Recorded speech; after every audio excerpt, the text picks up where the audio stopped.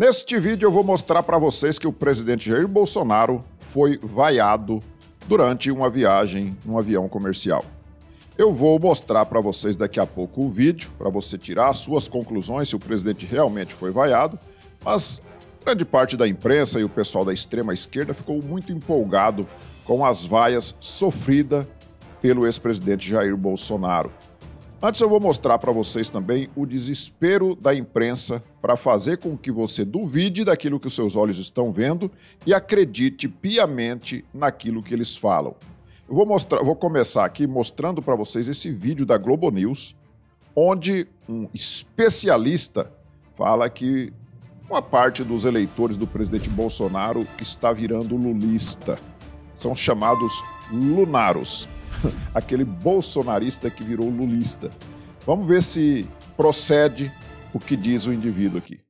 Ô Mauro, como é que é Lunaros, é isso? Eleitores de Bolsonaro que agora aprovam Lula, já tem até essa nomenclatura, digamos assim? É, essa nomenclatura é invenção da Dani Abreu, nossa produtora aqui.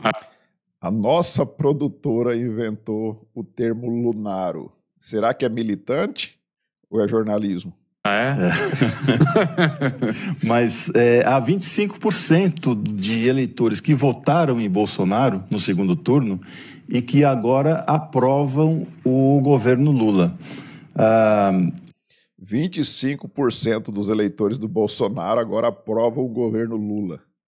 Será mesmo que um quarto da população, um quarto dos eleitores do presidente Bolsonaro está apoiando? Esse desgoverno? Então, é, isso, esse, é, esse é um dado da, da última pesquisa Quest, é, que foi divulgada é, na semana passada. Ah, quem são esses eleitores? São eleitores mais velhos, brancos, evangélicos da região norte e sul. Esse... Bom, justamente aquele público mais bolsonarista, né? Aí 25% desse público, segundo a pesquisa Quest, teria virado lulista. Você vê que, pelo semblante do indivíduo ali, ele não está tendo nenhuma segurança, nem ele está acreditando no que ele está falando. É, votaram em Bolsonaro e agora consideram o governo Lula positivo, ótimo ou bom. É, e é, é importante é, esse dado porque ele é crescente ah, esse, comparando com resultados anteriores da pesquisa Quest, ah, de meses anteriores, eh, esse número de eleitores de Bolsonaro que aprovam Lula vem crescendo. E há um outro, um outro dado da pesquisa Quest que complementa esse, que é 20% dos eleitores de Lula, que votaram em Lula no segundo turno, é, o consideram bem intencionado, mas ainda não viram entrega, não viram é, vantagem, não, afirmam que o que Lula não está conseguindo é, é, é, cumprir com, os, com as promessas de campanha. É, você vê que ele gagueja mais do que fala, né? Porque nem ele está acreditando no que está falando. Ou seja, 25% de eleitores que são das regiões mais bolsonaristas, né, principalmente a região sul, né?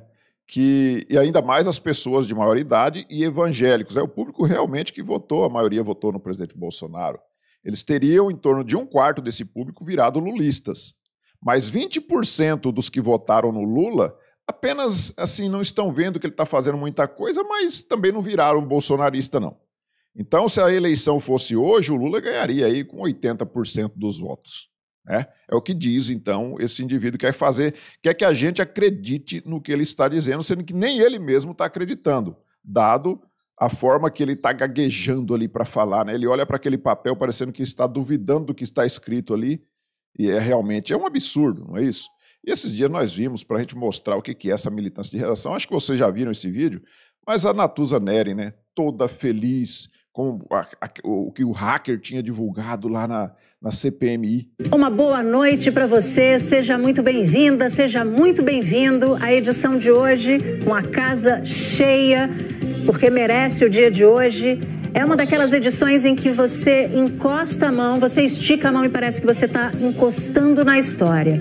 E não há definição melhor sobre o dia de hoje que aquela usada pela Polícia Federal na operação da última sexta-feira, que diz assim, um versículo bíblico: Não há nada escondido que não venha a ser descoberto, ou oculto que não venha a ser conhecido.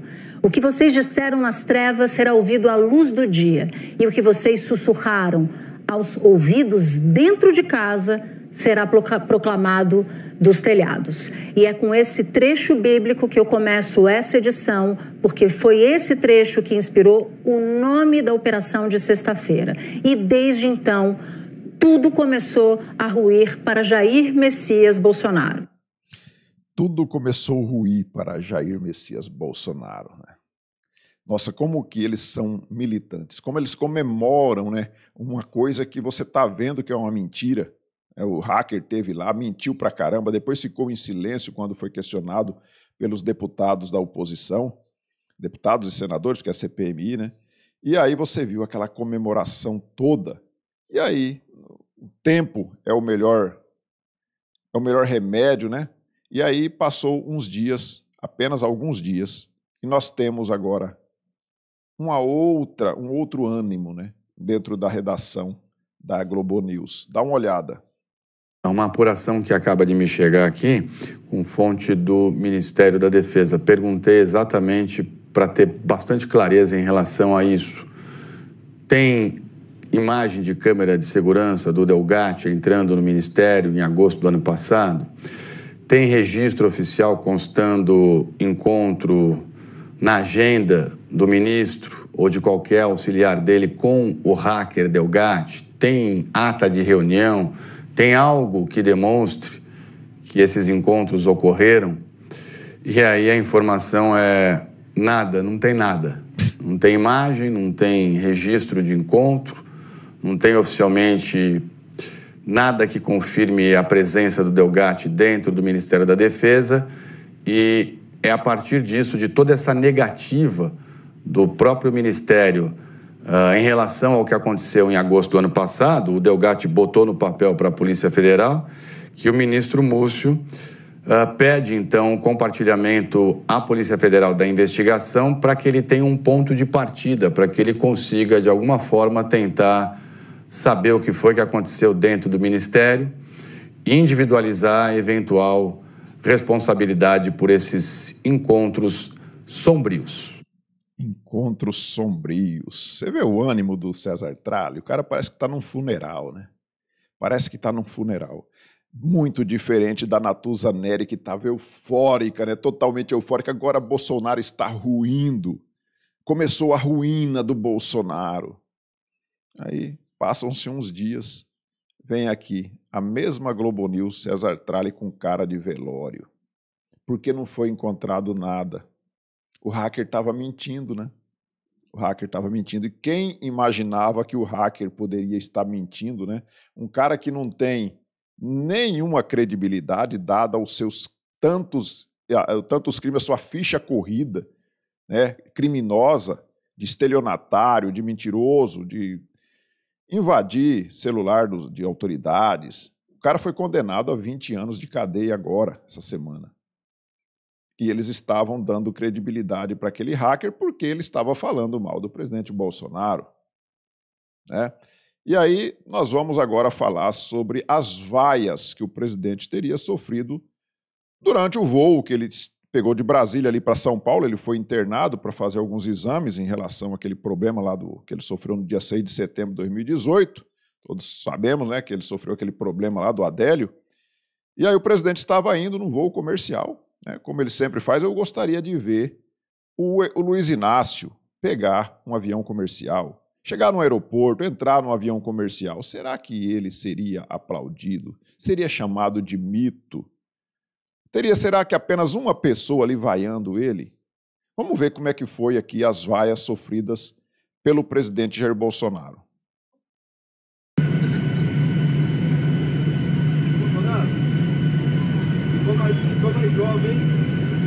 homem.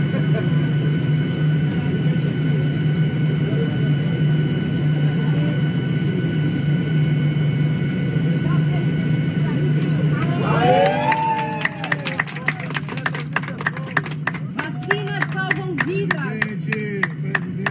Tá fugindo da Polícia Federal? Por que não ficou para Brasília? Tá, tá fugindo da polícia? Unido, unido, unido.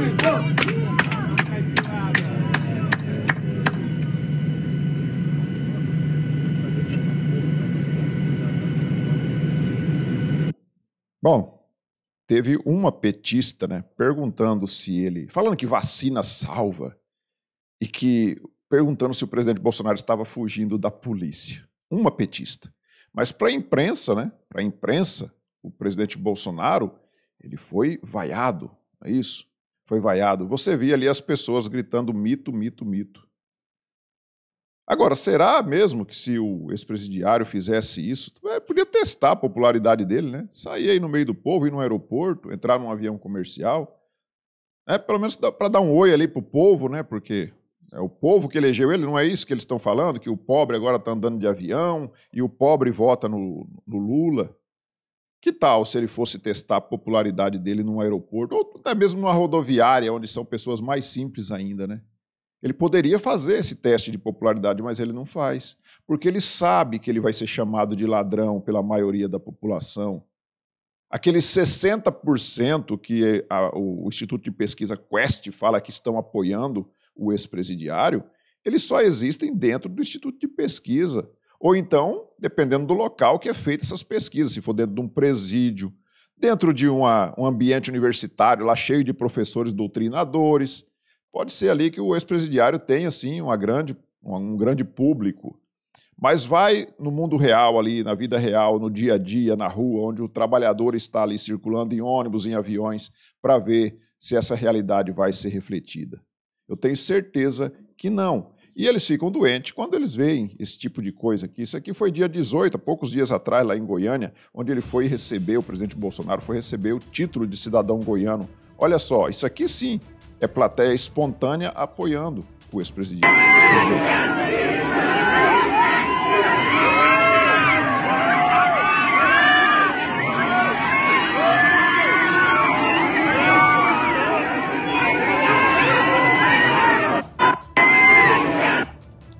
E isso deixa essa turma doente, né? Porque por mais que eles, que eles criem narrativas de joias, de Marielle, e são tantas as narrativas criadas contra o presidente Bolsonaro que fica até difícil a gente lembrar de todas aqui para a gente relacionar.